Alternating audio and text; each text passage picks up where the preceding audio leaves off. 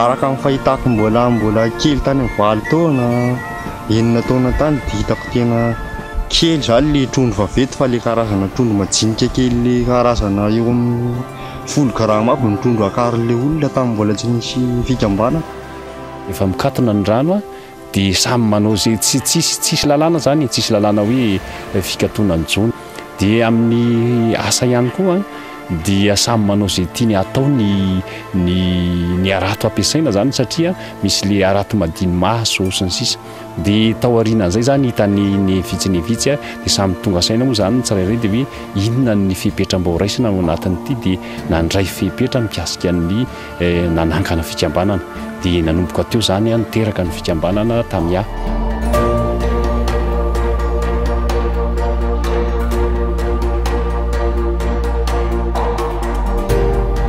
tena hoe miaro sy miahy zany a dia ny mponina manodidina amin'ity eo amin'ny dimy arivo eo isan'izay tsy maintsy miahy an'ity satria mazava ho azy moa fa Isan'ny tena atim-piveloman'ny olona ary mahikina ny ain'ny olona mihitsy izany ity toe ity andranobe ity.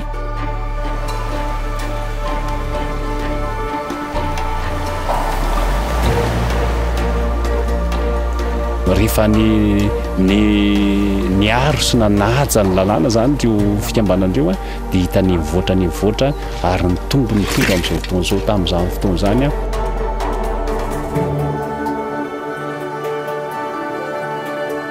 Eo koa ny fanajariana ilay sahan-driaka mihitsiny ho an'ny mpamboly sy ny mponina manodidina, dia eo koa ny fambolen-kazo izay tsy maintsy atao isan-taona.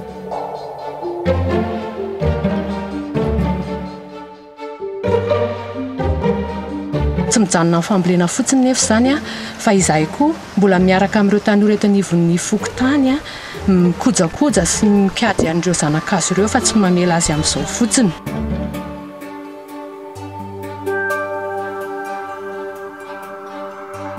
Variana ny rano be ity. Io rano io tompoko io ny famelomana i tena, famelomana ny mpanarato ny vady aman-janany manontolo.